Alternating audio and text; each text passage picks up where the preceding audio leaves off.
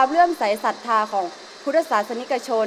ที่มีต่อพระพุทธมิ่งเมือง พระพุทธมงคล พระพิมพ์ กันทราวิชัย ในพุทธศิลป์สมัยทวารวดี ที่มีความรุ่งเรืองและเอกลักษณ์เฉพาะตัว จากแนวความคิดเบื้องต้น กลุ่มผู้สร้างสรรค์ผลงานจึงเกิดแรงบันดาลใจในการสร้างสรรค์ผลงานทางด้านนาฏยศิลป์พื้นเมืองชุด อารยะวันทา คันทาวิชัย